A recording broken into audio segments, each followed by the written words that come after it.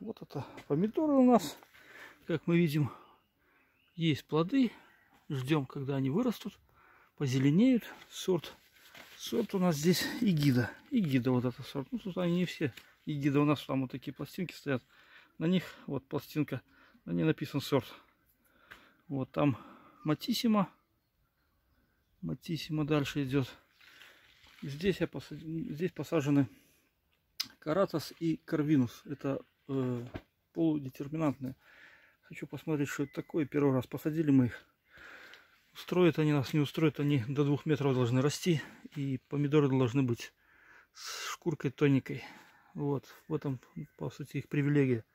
А так, что я пасынку удаляю. Пасынка обычно растет между, между. И потом еще удаляю сам. Этот, вот как мы видим, здесь пообрезал все. Вот, и вот это все удаляю. Вот, ну и дальше так вот. Пока я так воюю с ними. Вот у помидоре вот это вот есть пасынка. Вот она, пасынка. Я ее сейчас удалю. Вот большая уже пасынка тоже удалю. А легко удаляется. Вот здесь тоже пасынка. Тоже легко удалим ее.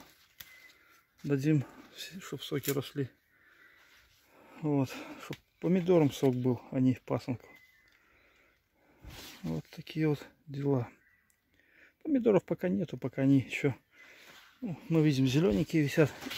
Вот они тут растут. Вот такие дела.